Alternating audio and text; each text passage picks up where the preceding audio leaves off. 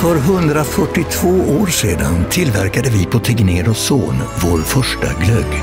Oj, det gick snabbt. Ah, det beror lite på hur man ser det. God jul. Och den är fortfarande precis lika god.